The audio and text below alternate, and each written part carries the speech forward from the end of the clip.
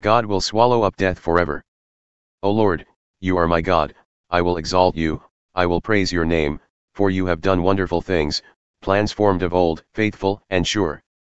For you have made the city a heap, the fortified city a ruin, the foreigner's palace is a city no more, it will never be rebuilt. Therefore strong peoples will glorify you, cities of ruthless nations will fear you.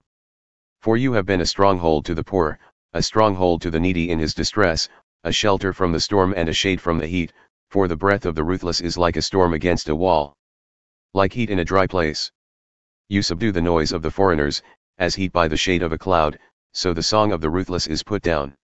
On this mountain the Lord of hosts will make for all peoples a feast of rich food, a feast of well-aged wine, of rich food full of marrow, of aged wine well refined.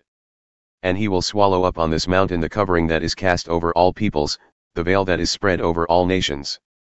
He will swallow up death forever, and the Lord God will wipe away tears from all faces, and the reproach of his people he will take away from all the earth, for the Lord has spoken. It will be said on that day, Behold, this is our God, we have waited for him, that he might save us. This is the Lord, we have waited for him, let us be glad and rejoice in his salvation. For the hand of the Lord will rest on this mountain, and Moab shall be trampled down in his place, as straw is trampled down in a dunghill. And he will spread out his hands in the midst of it as a swimmer spreads his hands out to swim, but the Lord will lay low his pompous pride together with the skill of his hands.